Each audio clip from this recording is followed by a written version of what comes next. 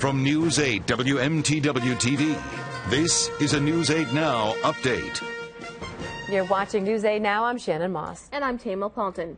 The father of a five-year-old Rockland boy whose hand was severed in a freak accident last month has sued the child's grandmother over the incident. Bangor Daily News reports that a lawsuit was filed July 18th in Knox County Superior Court by Anthony Pignone of Dennis, Massachusetts, against Sharon Sense of Rockland.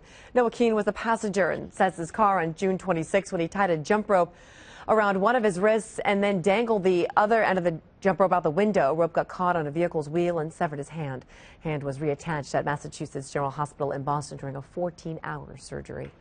Family and friends gathered at a vigil last night to mark the anniversary of the disappearance of an 11-year-old New Hampshire girl whose case remains unsolved. Celina Cass was reported missing one year ago. She was last seen on the computer at the family's home during the evening of July 25, 2011.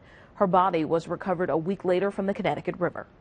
There will be a ribbon cutting ceremony for the Bank of Maine Ice Vault today. This will be the official opening of the ice rink in Hallowell. Construction on the $4 million arena began back in February. And you might remember 16 months ago, the old rink called the Kennebec Ice Arena collapsed under heavy snow.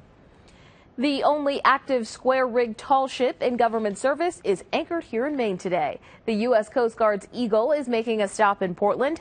The ship anchored in Cape Elizabeth overnight and will sail into Portland this morning, where it will be available for tours. The Eagle serves as a training vessel for new recruits at the Coast Guard Academy and for Officer Cadet Training School.